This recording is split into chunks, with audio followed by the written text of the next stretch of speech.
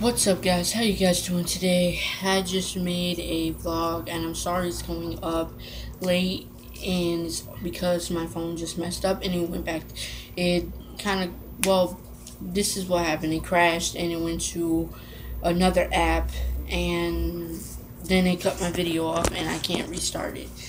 So what I was saying is how to know if a person, a woman, a man, or a boy or a girl for my younger viewers to know if they're rather bullying you or they like you. So, when I was in ninth grade, let's start a backstory on that. I no, actually, I don't think it was ninth grade. It was tenth grade. I was sitting at my desk. I was doing my work. I was trying to catch up on some work because, like I said, I always used to miss school. And this boy, he kept messing with me every once in a while. He he uh, poked me in the the neck with a pencil. He kicked my desk with his foot and like pushed it back toward me. He punched me a lot, but not as hard. He just punched me hard enough. But yeah, he punched me. His his friend came up and they double teamed. A lot of that happened. I've got called names by him, but after a while I haven't. At first I thought that was like him just his way of just being a jerk, bullying me and stuff like that, but after a while I noticed something. Every time he would pick on me, he turned his head and smile afterwards. It's not really a smile that everybody would would uh, notice if he looked at me. I thought it was like just to show that you know I did this to you. You're not gonna do shit, which I really wouldn't because I don't want to engage in somebody who can actually defeat me. But after a while, I realized he kept doing it over and over, and. Uh, I've told him a lot of times about some things, and like I said, I was a, a big liar back then. So he said, "I'm just gonna laugh at everything that comes out your mouth," and he did do that until he figured out what I was saying was true. But he kept doing a lot of things. He smacked me some sometimes. I know that he had a problem because we were all in ED, and I realized that since that pattern kept going on, I was starting to think he liked me. I never got the chance to actually ask him if he does. He probably does, or probably did, but I couldn't really tell. So a few few days go by, he kept doing it, and then after a while he stopped. He stopped picking on me as much as he used to. He just made some bad comments. If I said something, he would back say it or say something different and I wouldn't like it but then I know that he didn't he wouldn't said something that was as bad. So with that being said I try to write something down. I tried giving him notes or but I've never gotten a chance to do it because I wasn't confident enough to do it. So for you guys that are noticing that and you guys want to and you guys are still in school, still in college, still at work, before you leave or get fired for some reason, or if you are in school in class or wherever you are, I advise you to talk to the person. I mean, it's not as bad if you just go up to them and say, hey, what's up? Try to start a normal conversation with them not a conversation that will get you teased or talked about or spread all over social media. And like I said in my vlog before I cut off, that if the person responds positively, it's good. If they respond negatively, just shrug it off and don't, I won't say not talk to the person anymore. Just like try to not engage with them anymore. Like, you could talk, say hi, say bye. Uh, they ask a question, answer the question if you know. uh, just don't communicate as much just as um, acquaintance. Just say hi and bye, basically. You don't have to really get into making a full conversation with the person and don't talk to their friends that much either because that's gonna make it seem a little fishy, seem a little cocky.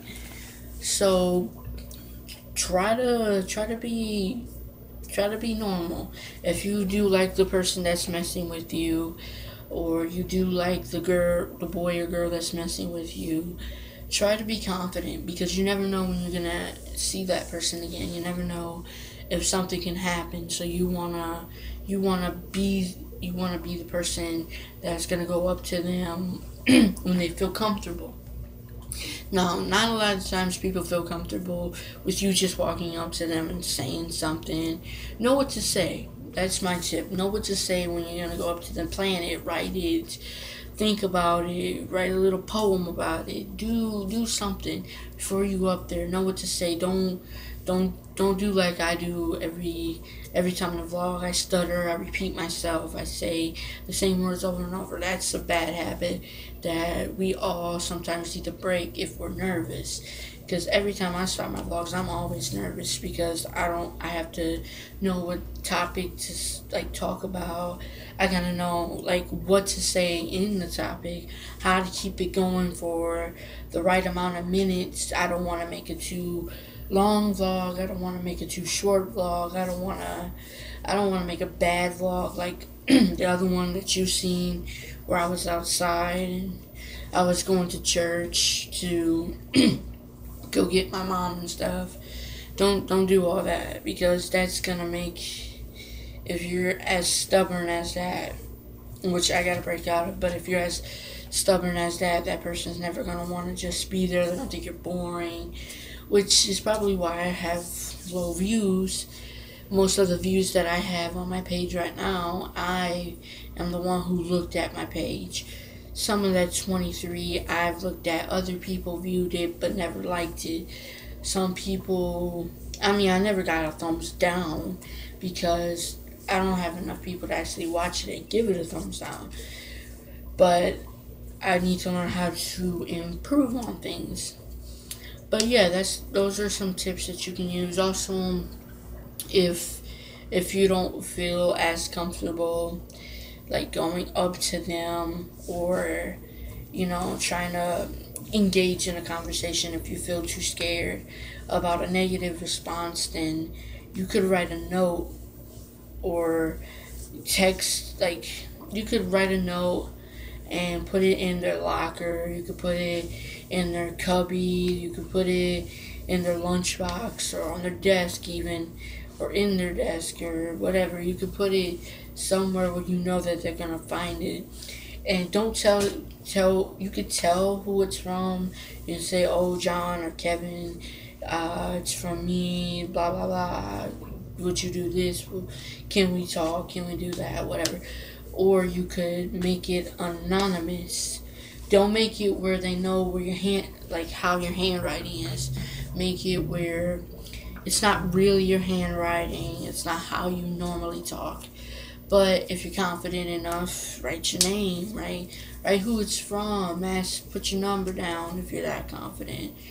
Just if you're scared to go face to face or if you have the number facebook and if they block you on facebook or something try to try to start a conversation and see what's up.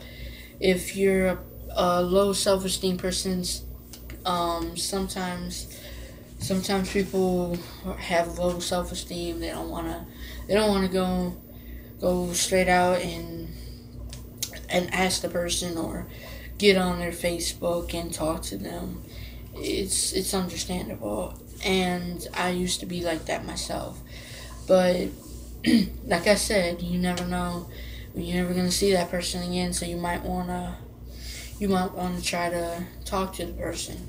Not a lot of times you can because they'll give you a negative response, even if it's alone.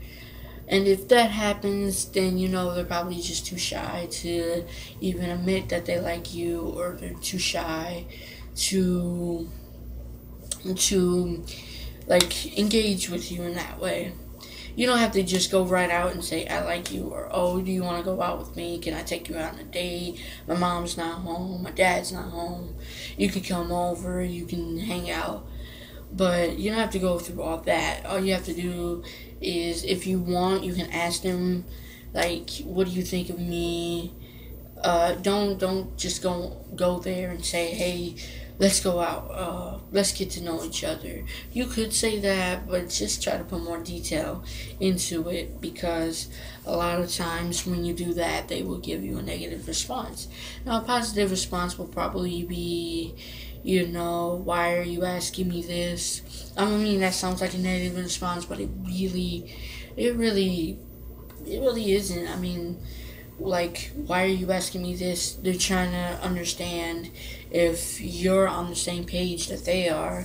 Maybe if you are, you could write something down or text them, ask them for, if you do have a number, that's what I mean, like text them or check out their name. If you know their full name, it's not really stalking them, kind of is, but it's not.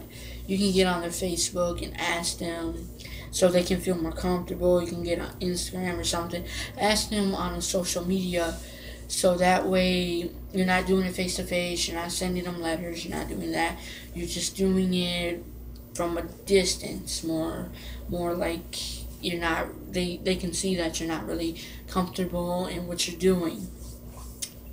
But sometimes people could mistaken mistaken bullies that like probably like you or the person that just dogs you or cracks on you or whatever you guys usually say but you if they respond more negatively like you know get the fuck away from me with that or I don't even like your ugly ass, your dirty ass, your booty ass, your hot dog, eh, whatever. But if they start saying that kind of stuff and they start like if they say it one time or throw your note or delete your message or block you and they just ignore you the whole time then yeah they you might be mistaken that they might actually not like you. But sometimes they might and sometimes they might not i mean if they don't then you know apologize say i thought i'm sorry just some things can cross my mind or if you're a comedian you can make a joke as in haha yeah I was just seeing what you would say or something like that. I mean, like, not always you're going to get the positive response. And sometimes if they do say something really negative, it it can't it can be real and sometimes it won't. It doesn't have to be. It could be it could be monetary. Like i mean the best the first step that you should do to that is try writing a note. Just and sometimes if you are in high school, like I'm talking to my uh, younger viewers, if you are in high school and you do have that problem, and if you do send them a message through, you know, writing them a note, and if it still comes out negative, then like if they if you put the note in there and say they around their friends and they go to their their locker or cubby or and their friends are around they look at the note and say you didn't put your name on it and then they turn around and say who the fuck put this in here? You know how teenagers talk. You guys say you know like who put this in here? What the fuck? Or something like that. Um you know if that happens, try not to say anything. Try to talk to that person, not about the note or anything. Just try to engage with that person for a while.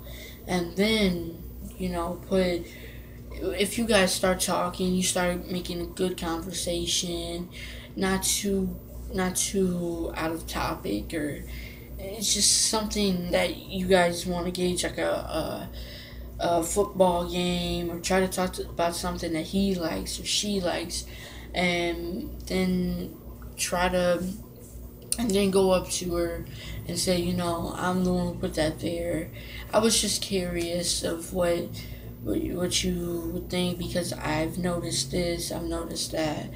And again, if they they respond negatively, they probably are too shy to admit that you know, yeah, yeah, I do feel this way, but don't tell nobody. Or sometimes they might think you're joking, and you might, if they say, yes, I like you that way, or yes, this happened and that happened, you might, you know, go and tell people and like say, oh, this guy likes me, this person, or this girl said this, she likes me, and you know, maybe that might happen, and probably would, but not all the time, you know. But yeah, that's that's, that's kind of how you would tell the difference. A lot of times, if it's physical, hands-on, and they're not really too scared to touch you or something that they kind of like you, and they kind of probably don't. It just it all depends on how you feel doing that with the other person, and how you feel trying to talk to the person or you gotta also consider how you feel because you don't want to really go up to a person and be scared or have a nervous breakdown and you know say something stupid and embarrass yourself. You don't want to do all that. You want to just be calm like i said just write some things down put them on notes plan what you're gonna say it can it will it will work at least if you know that the person doesn't like you you'll know. And if they respond positively then you'll know. But don't if if they do respond positively don't go around and bragging it to everybody unless they're your close friends and you told your close friends that you like this person. Don't go around telling people that you know are gonna if say something or repeat something that you said or don't go around saying something similar to that because then they're gonna think you like that person. They're gonna blab it out to everybody. Then you're gonna be embarrassed. You're gonna you're gonna get mad because that person said, "Oh, Jonathan likes Mia" or something like that. You you just don't want to embarrass yourself in front of everybody. You want to keep it low key for a while. And then if that person feels comfortable, they'll tell their friends about you and if it's a judgmental person my my advice to somebody who is judgmental and probably like and you don't think too confident about yourself i'd probably advise you not to try to communicate with that person in a dating relationship kind of way because that person's probably just going to be saying all kinds of rude comments to you and then their friends are going to make fun of them for going out with a person like you and really that shouldn't bother you but it kind of will get the person that likes you and you like in a bad position. So try not to do all that because yeah you don't want to embarrass that person or yourself. You can also tell the person you know i don't feel comfortable with you know you telling other people about